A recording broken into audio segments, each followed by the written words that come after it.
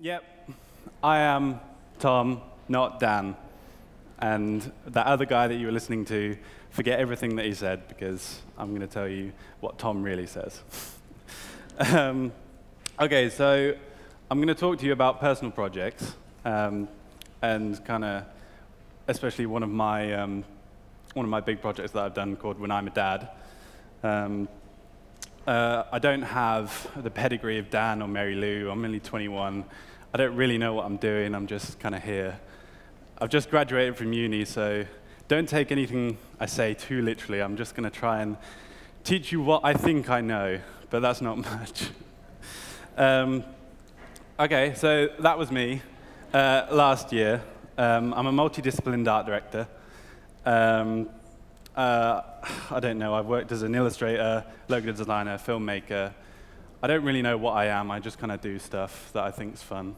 Uh, my body clock is completely fucked. Um, I flew back from Thailand this morning and I haven't slept for two days, so if I do collapse, sorry. um, but okay, so first I'm going to talk to you um, kind of something that I believe in quite strongly is that work that work looks like work is boring. Um, the whole talk is about personal projects. But um, as soon as you graduate, you kind of, you spend three years working really, really hard. And then all of a sudden, you're like, OK, great, I got this portfolio. But it's the same as everybody else's that has graduated. It's the same as me. I've, uh, I don't put it online, but I have the same portfolio as everybody else in my class. And it's like, OK, right, everybody in agencies is seeing the same work. It all kind of blends together into this mesh. How can you stand out a bit more? How can you do something um, that gets better? How do you get remembered? Uh, I'd say personality. And how's the best way to show your personality is through your work. Nobody wants to read an about page for God knows how long to understand you. If you can understand somebody through their work and get a bit of sense what they are, then um, that's a lot better. So, my craply prepared written little sheet. um, there's a couple of little projects that I kind of thought were kind of fun um, when I was doing a little research for this. Um, but literally, anything you like. Like, if you're into football, like I am hugely, uh, an illustration, just do some illustration stuff. You don't know where it will go. If, if you're into traveling and you like a bit of type, do some type about where you go traveling. If you're into 3D art because you've always really wanted to try 3D art, which is the bottom left, it just, just try it. Like, and if you love shitting, then do a project about the toilets of London. Because, you know, why not? People remember that. People don't remember like a, a branding project. People remember you for your little toilet um, Instagram page. Um, and yeah, so that's the kind of little setup. And now I'm going to kind of walk you through my own little story.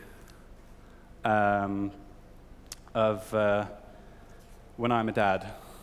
Um, it is a storybook, but um, okay, so a little bit of context. I was in second year, um, second year course, creative advertising at Lincoln. The tutors were all kind of telling me, Tom, don't enter D&AD.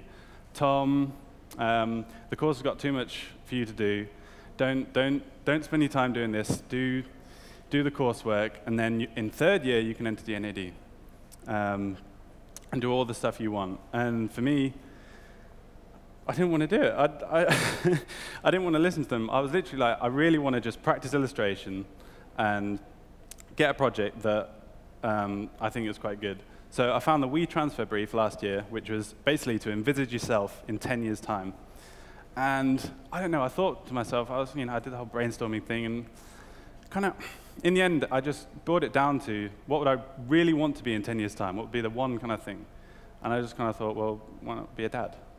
Uh, that, that, yeah, and that coming with that, there's a lot of emotion attached to that. And I don't know, I, am not deceiving, but I, I, wanted to play off that. I, I mean, some people call me the womb melter after I made this project. but I, I, I, don't know, I wanted to get as much emotion into this project as possible because I knew then that, that's, how, that's how it can spread further. Um, so I decided to uh, illustrate all the things that I wanted to do when I'm a dad in this book. So, little random examples. Monsters in a Little Bed, Won't Live Long. Half of this is me practicing illustration. The other half is, you know, this kid's book that I want to read to my kid um, when I'm older. Um, just, again, practicing illustration and, um, you know, funny little things that I thought, yeah, you know, that'd be cool. Um, Yep. And I didn't really want to stop there. Okay, I've got this book. Great. Oh, let's throw it into D&AD. Let's see if it gets somewhere. No. Why don't we do something else? I've, I like websites. Um, so I made this little website, whenI'madad.com, and basically you can make vows um, for when you do become a dad. Uh, you can go now if you want. Probably not on the talk, but maybe later. I don't know.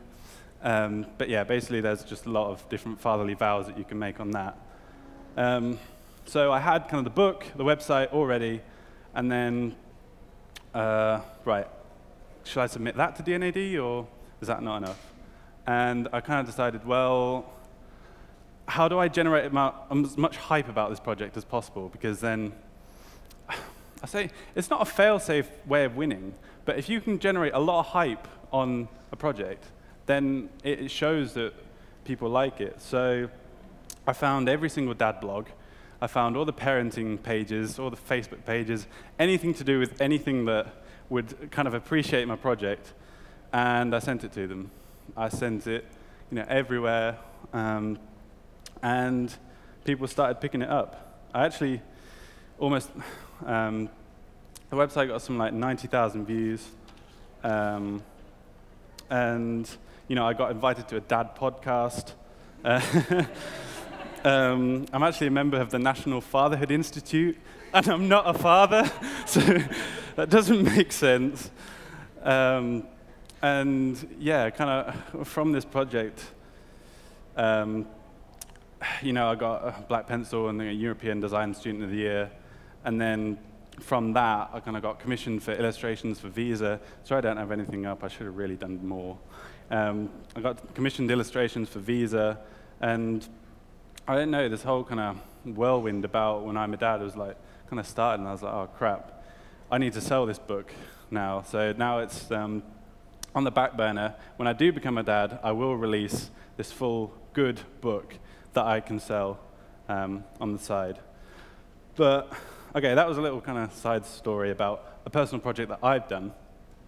Um, and kind of what I want to talk about is, is kind of random crappy lessons that I think could, um, oops, a bit late, could work um, for you guys or just to, just to apply um, into your life. So the first kind of lesson I learned when I'm doing a project is choose your own trousers. Now, this has a little bit of a story to it. Um, so I'm half Finnish and I have a Finnish mum. And when I was like 15, 16, uh, she'd take me shopping to TK Maxx. And she'd sit over the other side of the, um, sit over the store looking through trousers for me when I was looking at shirts or something, and she'd pick them up. Tommy, what about these ones, these ones? And everybody in the store would look around, look at me. I'd be red-faced, like, oh my God, Mum, what are you doing? I don't um, and instantly, anything that she said or anything that she showed me, even if they were good, I'd say no, because they, she picked them. And I think that's a really key lesson when you're choosing a personal project is that you have to pick it. It has to be yours. You have to, nobody can tell you to do a personal project about, I don't know, your shoes or uh, something, you know, nobody can tell you to do something. You have to pick it. And as soon as you do that, it's your baby, it's your soul, it's your, you have this pressure to make it good. Um, and that's, uh, that's, that's, that's one of the uh, key lessons that I think is important. And you know, I can see kind of some people thinking, you know, that's not really a lesson that you can choose your own trousers, write down in a notebook. But um, yeah, along those lines. Um, and so, kind of a second kind of thing that I go on, and I believe in strongly, is that the internet is unbelievable for sharing work. Like people, it annoys me so much when somebody spends like three months on a project and uploads it to Behance on a Sunday night um, and, and, just does that. Literally does nothing else with it. There's um, so much you can do with a project. So whenever I make a project, for example, I come up with like a launch plan um, of where I could send this. wh- who's going to see it, where I could send it. So say it was, I don't know, a type portrait of homeless people in London, say. Um, who's going to be interested in that? Well, there's about, I don't know, six, seven huge homeless charities that I'm sure I could send it to. Um, and then, you know, loads of other interesting places around London and design blogs that you can also send it to to get that extra bit of exposure on your work. So literally, I'd, I'd always spend like two or three days just absolutely throwing it, like, hey, check out this project. I know I don't have much time, but, you know, um, check it out. Feel free to share it with your followers or something like that. And more often than not, they'll probably say no, or mm, maybe not. But you never know where it will lead.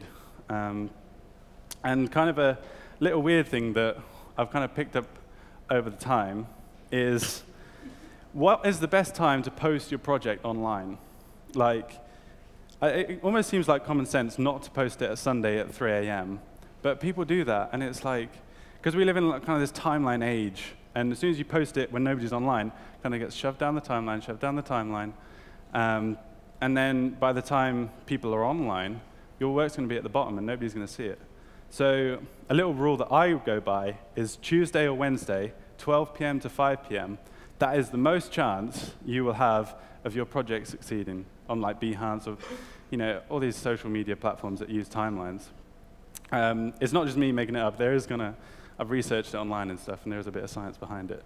Um, but yeah, there's that. Um, and then kind of one final little tip, or I don't really know, um, is why, essentially, I know this is so ambiguous, but why would you view somebody else's project?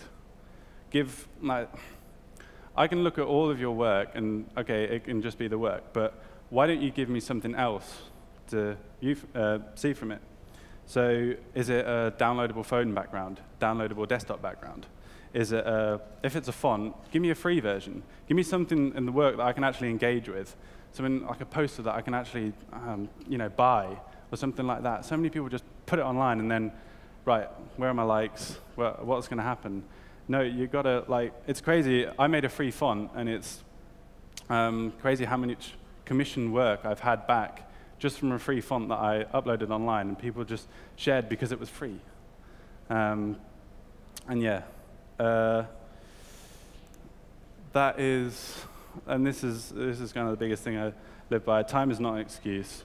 You literally, somebody here could have made um, the project that got them into their favorite agency in the time I did this talk. I guarantee it. Somebody here could have done that. Um, I don't know. Be clever, make the world smile, and um, yeah, that's me. Thank you. Oh,